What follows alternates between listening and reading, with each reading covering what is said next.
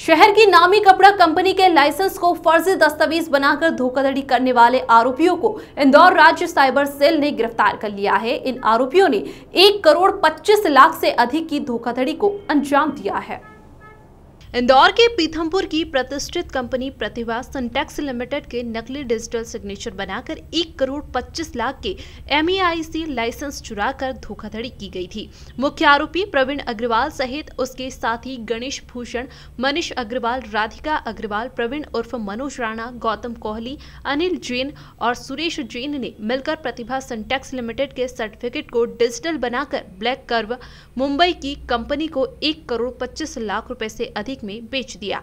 इसके द्वारा पूर्व में भी फ़िल्म अभिनेत्री सोनम कपूर के ससुर हरीश आहूजा के साथ 27 करोड़ रुपए की ठगी की वारदात को अंजाम दिया जा चुका है। इस घटनाक्रम के बाद आरोपी थाना फरीदाबाद, हरियाणा में गिरफ़्तार हो चुका है।